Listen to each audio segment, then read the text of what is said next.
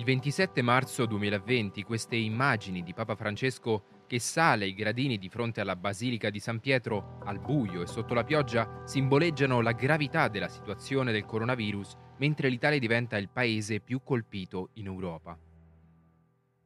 Come parte delle restrizioni, a tutte le chiese è stato ordinato di chiudere i battenti e i fedeli non hanno più potuto partecipare alla Santa Messa, ma meno di due mesi dopo, grazie alla pressione dei vescovi italiani sul governo, le chiese sono state riaperte con l'obbligatorietà delle mascherine sul viso ed il divieto di cori.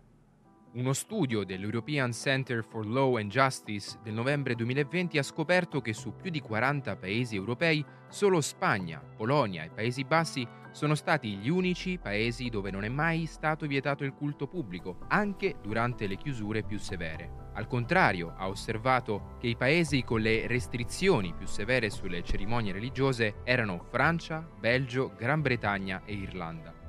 In Irlanda dal dicembre del 2020 le messe pubbliche sono state completamente vietate.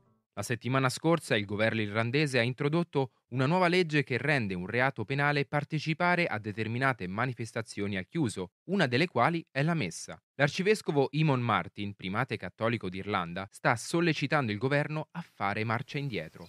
Nella piccola parrocchia di Mullahoran, al centro dell'Irlanda, padre PJ Hughes è il parroco. Si rifiuta di non celebrare la messa in pubblico, nonostante le forze dell'ordine lo abbiano fermato più volte e gli abbiano inflitto una multa di 500 euro. Um, Ho preso una posizione perché credo che la gente abbia il diritto divino di vivere la propria fede e in gran numero continuavano a venire a messa ogni giorno, tra le 8 e le 30 persone ritengo che venissero tutti a pregare.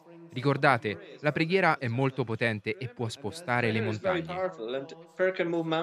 Questo filmato è di domenica scorsa, dove una manciata di persone del posto si è ancora riunita per celebrare la messa nonostante la nuova legge la renda illegale. In netto contrasto con l'Irlanda dall'altra parte dell'Europa, la Polonia è uno dei paesi che non ha mai impedito alla gente di partecipare alla messa, ma sono state introdotte delle regole come le mani che devono essere disinfettate, il distanziamento sociale obbligatorio e che solo un numero limitato di fedeli è autorizzato a partecipare. In più, i confessionali sono coperti da protezione di plastica.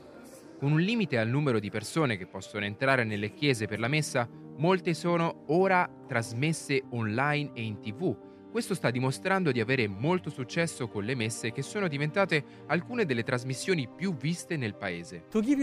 Per farvi un esempio, una sola messa domenicale in diretta dal santuario di Nostra Signora di Jasnagora è stata vista da circa 3 milioni di persone, il che significa circa il 10% dei cattolici in Polonia. Come la famiglia Brozowski, che segue la messa ogni domenica in tv, Secondo uno studio della Chiesa in Polonia, molti preferirebbero tornare in presenza in chiesa.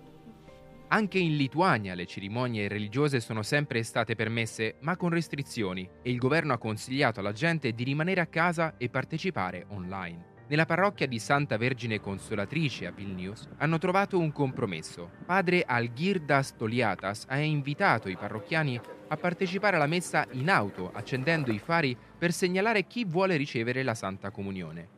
Ianetta è una dei parrocchiani e dice di apprezzare le idee della comunità.